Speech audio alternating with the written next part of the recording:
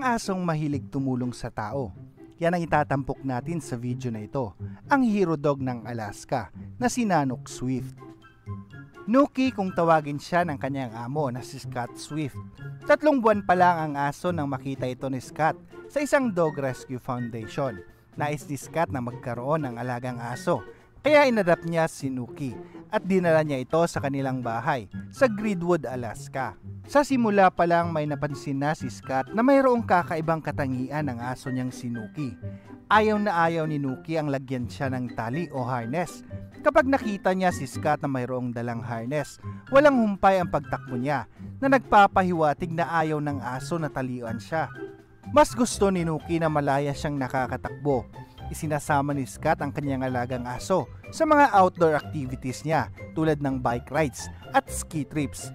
Kahit walang tali o harness si Nuki, hindi naman siya lumalayo kay Scott. Pareha silang mahilig sa adventure. Mas excited pa nga ang asong sinuki kapag aalis sila ayon kay Scott. Isa sa mga katangian ng asong sinuki ay mahilig itong makipaghalubilo sa tao, lalo na sa mga hikers na dumadaan sa trail malapit sa bahay ni Scott at kung minsan sumasama pa ito sa mga hikers. Dahil sa hindi nakakulong o nakatali si Nuki, malaya siyang nakakalabas sa bahay ng kanyang amo. Literal na asong gala itong sinuki Napansin ni Scott na kadalasang pumupunta si Nuki sa trail na kung saan dumadaan ang mga hikers. Nakahiga o nakaupo lang ito sa gilid ng trail na parang nag-aabang na may dumaan. Isang araw umalis si Nuki sa tahanan ng kanyang amo. Ito ang kauna-unahang beses na hindi umuwi ang aso. Labis ang pagkaalala ni Scott dahil sa lugar nila maraming oso. Hindi maalis sa isip niya na baka inatake ng oso si Nuki Hinanap niya ito sa mga lugar na kadalasang pinupuntahan ng kanyang alagang aso. Subalit wala doon si Nuki. Nagbakasakali rin si Scott. Baka nasa dog pound si Nuki. Subalit wala pa rin doon ang aso. Lumipas pa ang ilang araw. Nagising si Scott mula sa tahol ni Nuki. Masayang masaya si Scott dahil ligtas na nakauwi ang kanyang alaga. Medyo pumayat ang aso dahil sa ilang araw nitong pagkawala. Walang ideya si Scott kung saan nagpunta si Nuki. Lumipas ang ilang buwan, naulit na naman ang pangyayari. Ilang araw na namang hindi umuwi si Nuki. Hindi malaman ni Scott kung saan nagpupunta ang kanyang alagang aso.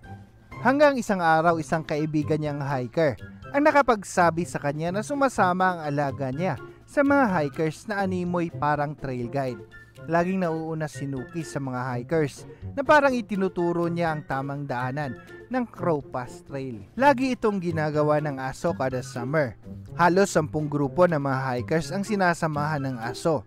Kaya ginawan siya ni Scott ng dog tag na may nakasulat na I love to ski, I love to play, but please bring me back at the end of the day. Subalit na wala ito ni Nuki makalipas lang ang isang taon. Kaya ginawan siya ulit ni Scott na may nakasulat na Crow Pass Guide Dog. Kalaki pa rin ito ang contact number ni Scott at ng kanyang asawa na si Jennifer. Dahil sa nakakatulong naman ang kanyang alagang aso, pinapabayaan lang ni Scott na sumama ito sa mga hikers. Taong 2018, buwan ng Hunyo, isa na namang hiker ang natulungan ni Nuki, subalit hindi ito simpleng hike lamang. Isang may kapansanang hiker ang nag-solo trip ng tatlong araw sa Alaskan Wilderness, partikular sa kabundukan ng Chugak. Siya si Amelia Mailing, 21 years old, isang college student mula sa Tennessee. Mahilig siya sa mga adventures at mga outdoor activities sa kabila ng hindi siya nakakarinig. Si Amelia Mailing ay isang bingi, subalit hindi ito hadlang upang gawin niya ang mga nais niyang gawin.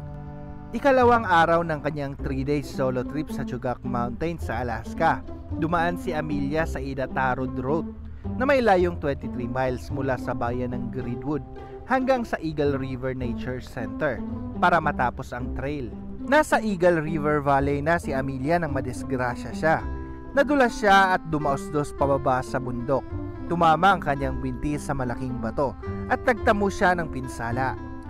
Matapos ang pangyayari, tumingin sa paligid si Amelia. Baka sakaling mayroong ibang hiker na pwedeng makatulong sa kanya wala siyang ibang nakita kundi isang puting aso na papalapit sa kanya. Napilitan na lang si Amelia na mag-set up ng tent at ipagpabukas na lang ang pag-hike. patungong Eagle River Nature Center. Kinabukasan pagising ni Amelia, nandun pa rin ang asong sinuki sa labas ng kanyang tent. At dito na napansin ni Amelia na may nakasulat na Coropas Guide Dog sa collar ng puting aso. Kaya napagpasyahan na ni Amelia na magpatuloy sa pag-hike. Nauna sinuki kay Amelia at dumiretso ang aso pabalik sa trail. Nang marating nila ang Eagle River, kailangan nilang tumawid dito. Maraming mga signs malapit sa ilog na nakasaad na kailangang mag-ingat sa madudulas na bato at malakas na agos ng tubig. At pinapayuhan ang mga hikers na mainam na sa umaga tawirin ang ilog na kung saan mababa pa ang tubig. Tumawid si Amelia sa ilog. Ramdam nito ang napakalamig na tubig. At sa kasamaang palad na dulas ulit si Amelia sa inapakan niyang bato at dahilan upang anurin siya ng tubig. Sinubukan niyang lumangoy Subalit dinadala siya palayo sa agos ng tubig at namamanhid na rin ang katawan niya dahil sa lamig ng tubig sa ilog. Mabuti na lang nandoon ang asong sinuki. Tumalon ang aso sa ilog at hinila si Amelia habang kagat nito ang kanyang bag at dinala sa mababaw na parte ng ilog. Labis na nanginginig si Amelia. Nagpalit siya ng damit at pumasok sa kanyang sleeping bag upang mawala ang lamig na kanyang nadarama at masubukang tumawid muli sa ilog. Ito ang plano ni Amelia. Nais niyang subukang tumawid ulit sa napakalamig na ilog. Subalit napansin ni Amelia na mayroong ipinapahiwatig ang aso mula sa mga galaw nito. Kaya pumasok sa isip ni Amelia na ang nais na sabihin ng aso ay wag niyang subukang tumawid ulit sa ilog dahil napakadelikado. Kaya kinuha ni Amelia ang kanyang spot isang digital SOS device, emergency locator, at humingi siya ng tulong. Natanggap naman ito ng Alaska State Trooper at isinagawa kaagad ang search and rescue operation. At bago pa man magdilim, nakita kaagad ng Alaska State Trooper, air rescue crew ang makeshift campsite ni Amelia. Nasa loob ng kanyang sleeping bag si Amelia nang madatan siya ng rescue crew.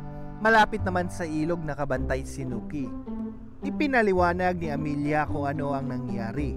Isinakay sa helicopter si Amelia at si Nuki sa nature center na napag-alaman ng state trooper na hindi kay Amelia ang puting husky. Kinabukasan nakatanggap ng tawag si Scott Swift mula kay Lieutenant Olsen mula sa Alaska State Trooper at tinatanong si Scott kung sa kanya ba ang puting husky. Natakot at nangamba si Scott mula sa tanong ng lieutenant at inakala niya na inatake ng oso si Nuki at natagpuan ito ng mga state troopers. Nagulat na lang si Scott sa mga sinabi ng lieutenant na ang aso niya na si Nuki ay nagligtas ng isang hiker. Hindi nagtagal kumalat ang kwento ni Nuki sa kanilang lugar. Maraming mga media, movie production companies, magazine at newspaper writers ang nais makapanayam si Scott. Dahil sa sumikat ang hero dog na si Nuki, marami ring naglabasang mga kwento mula sa mga hikers na kung saan tinulungan rin sila ni Nuki. Kung dati nangangamba pa si Scott sa tuwing aalis o nawawala si Nuki, subalit sa napag-alaman niya, naging kampante na siya at ayon kay Scott, Nanok was put in this earth for a reason and my job is to let him fulfill that mission.